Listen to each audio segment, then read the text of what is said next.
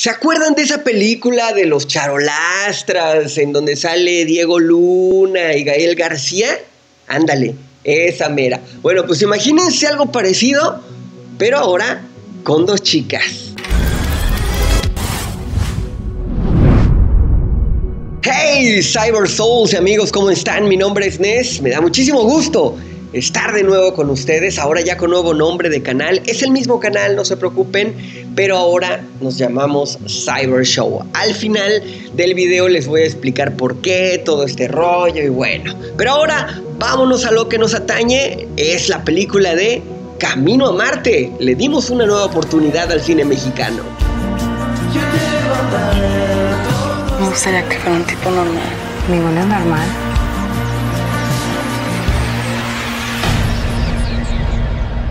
Esta película está protagonizada por Luis Gerardo Méndez, el famosísimo Luis Gerardo, y también por Tessa Ia. No había oído de esta chica, pero me pareció muy buena su actuación. Camila Sodi, ya ustedes la conocerán o muchos de ustedes. Y bueno, pues ¿de qué trata? Pues es todo un trip, es todo un trip en auto de esos que sales con tu amiga y todo este rollo, ¿no? Aquí Emilia es una chica que tiene una enfermedad terminal y de repente decide salir de su realidad, de su hospital, de todo este rollo. Le llama a su mejor amiga, que es Violeta, y le dice, ¿sabes qué? Vámonos, eh, vamos a hacer el trip de nuestra vida, eh, vamos a salir ya, yo me siento bien, ta, ta, ta, etc. Se van las chicas y de repente en ese momento que van pues en la carretera y todo ese rollo por azares del destino se encuentran con Mark. Pero este chico es bastante extraño, trae un casco ahí muy raro, dice que viene de otro lado y que además viene a estudiar a los seres humanos para acabar con la raza humana en tan solo unas horas. Y ahí es justamente donde empieza todo el trip Vamos a definir esta película. Es una road movie, como le llaman allá en Hollywood. Es una película de viaje, es un trip donde vas de un punto A a un punto B. También es dramática, tiene varios momentos dramáticas, es cómica y tiene algo de ciencia ficción entre sus entrañas. Una de las cosas más interesantes o las que más me gustó en lo personal es la química en cada uno de los personajes que hay aquí. Me parece que todos ellos tienen una excelente química, les escribieron un guion muy simple, muy sencillo, pero muy, muy padre también, ¿no? Eh, tenemos, por ejemplo, el personaje de Camila Sodi, es un personaje, eh, pues, buena onda, fresa, fogosona, vale madrista, digámoslo así. Es de esas chicas de que yo me voy a besar con este y yo me voy a con este voy a hacer lo que yo quiera y, te dicen las cosas así claro y directo y, y todo ese rollo. Son así a la cara, ¿no? Tenemos también a Emilia que es pues la realista justamente que quiere salir de toda esa realidad, de todo lo que está viviendo, de todo lo que está viendo a su alrededor y, quiere intentar algo diferente en el final de, de, lo que parece el final de su vida, ¿no? Tenemos también a Mark, que bueno, este es el personaje disruptivo de toda la historia. A lo mejor hay muchos trips parecidos a este, pero en este caso eh, Mark le da el cambio radical. Es ese personaje que te cambia la vida en tan solo unos días, unas horas y, te hace ver todo completamente diferente, ¿no?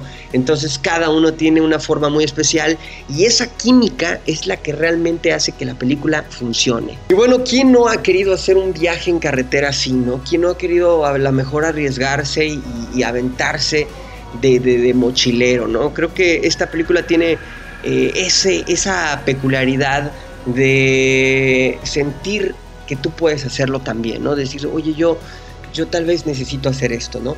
Y, hay un mensaje bien padre que me gustó mucho, que es justamente, ¿no? No sabemos cuánto tiempo nos queda. Nuestra vida es limitada, no sabemos el, del futuro lo que va a pasar, ¿no? A lo mejor conocemos nuestro pasado, pero lo más importante es nuestro presente, ¿no? Y ese road, ese trip, eh, está musicalizado perfectamente hay, partes que me encantan, que no tienen nada que ver con los artistas que aportaron, que también está padrísimo todo lo que aportaron los artistas para esta, para esta película, sino también el soundtrack instrumental que hay en medio de las escenas dramáticas, y cosas así por el estilo, bien, me latió, está bien compaginado, bien hecho, bien armado también el riel de cámaras y toda esta cuestión. Eh, las tomas me gustaron, algo cerradonas, de repente nada más ves como que un tercio de la escena o del personaje y de repente ¡pum! se sienta y queda perfectamente bien encuadrado. Me parece que jugaron de una manera padre y de hecho un poquito arriesgada. No tanto, pero un poquito arriesgada, pero lo hicieron bastante bien. Todas esas cosas, la cámara, el ride, todos estos momentos, eh, la comicidad, la tristeza, eh, las metáforas que hay e incluso los momentos de iluminación, hacen que la cuestión se vuelva creíble.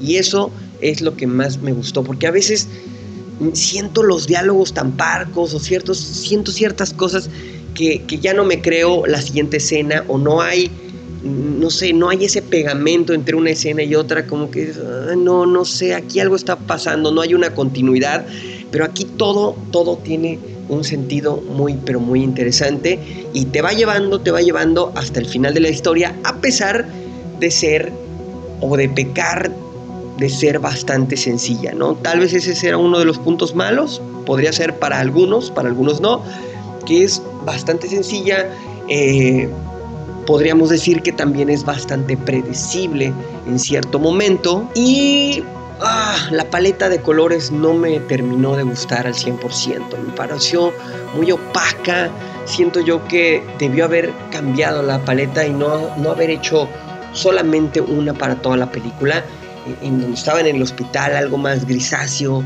eh, cuando iban saliendo algo más luminoso, cuando estaban ya en el viaje algo más colorido y al final una combinación de ambos hubiera estado súper genial. Por ahí le faltó a colorimetría o a diseño de arte o como se le llame a, esa parte, ¿no? En este caso. Y bueno, pues también siento que eh, los paisajes son muy bonitos, ¿eh? Hay lugares muy padres, pero, pero son bastante desérticos. Y, y justamente también creo que debió haber ido cambiando poco a poco de lugar al final para hacerlo un poco más bright, ¿no? Todo y, darle un final un poquito más pulido eh, en ciertos aspectos de luz que tenía que eh, pues lograrte dar la pues la consecución de todo lo que hicieron. Uf, pues a esta película, la cual me deja varios mensajes acerca del amor, el amor humano como es, de raro, de extraño. Ustedes saben, aquí uno se pelea, luego se contenta, luego sea, a lo mejor te casi casi te pegas ahí del chongo y todo el rollo, pero el rato pues ya sabes, ¿no? Que tienes que regresar con esa persona que tanto quieres, que tanto amas, no necesariamente familiar, puede ser entre amigos y todo este rollo. Y, bueno, pues e, este aprendizaje de Mark acerca de ese tipo de amor y de ver si realmente va a destruir o no va a destruir la tierra, es, es, muy cómico y al mismo tiempo es muy intrigante, digámoslo así, de esto será verdad o no, qué está pasando, ¿no? Por otro lado, hay una parte donde te explican acerca del presente, ¿no? Que es la única cosa que tenemos, de que el pasado ya no existe, el futuro es inexistente tampoco, sabemos qué va a pasar, y lo único que tenemos es el presente, y, y lo explican de una manera muy especial que ustedes verán en la película, donde dice el presente es infinito, todo el tiempo estamos en presente, es infinito de alguna forma. Y, eso nos hace pensar que a lo mejor deberíamos de, arriesgarnos un poquito más y de hacer cosas que no nos hemos atrevido porque pensamos que las vamos a hacer mañana o pasado mañana y que vamos a tener el tiempo suficiente, pero no, nadie tiene la vida comprada. Podemos morirnos hoy mismo en un accidente de, auto, podemos eh, tener alguna enfermedad que no sabemos en un momento dado, o nos puede pasar algún accidente, o no sabemos qué, ¿no? Dios, Dios no lo quiera, nada de eso. Entonces, hoy, hoy es el momento para hacer todas esas cosas que queremos, empezarlas, por lo menos, y de ahí que se vayan desarrollando solas, ¿no? Entonces es una gran lección para todos aquellos también que quieran un empujoncito. A mí me gustó la película, definitivamente, y le voy a poner nada más y nada menos que un 8.8. 8.8 para esta película mexicana que vaya que le dé una oportunidad porque luego no me gustan, son demasiado chistosas o, demasiado mundanas o demasiado groseras. Esta, esta también es demasiado grosera en cierto punto, pero es, es realista, o sea, te la crees, o sea, dices, sí, sí me creo a estas chicas diciendo esto, creo que, creo que pasa en la realidad, ¿no? Eh, o sea, no, no está sobreactuado, digámoslo así, ¿no?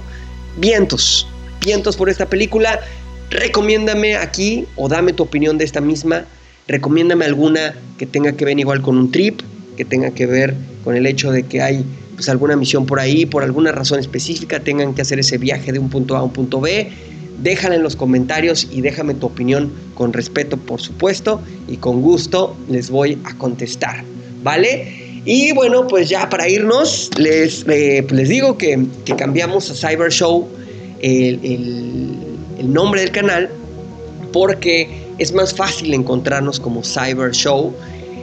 Inicialmente había eh, el programa Cyber Show inició hace mucho tiempo, después pasó a radio en Turquesa Pop eh, y se llamaba Cyber Show desde el inicio. Pero el estudio que siempre estuvo detrás de todo esto se llama Neogénesis. Entonces, bueno, decidimos por eso ponerle Neogénesis al canal. Pero es bien difícil buscar Neogénesis con Z y Z, que es como nosotros lo idealizamos como tal.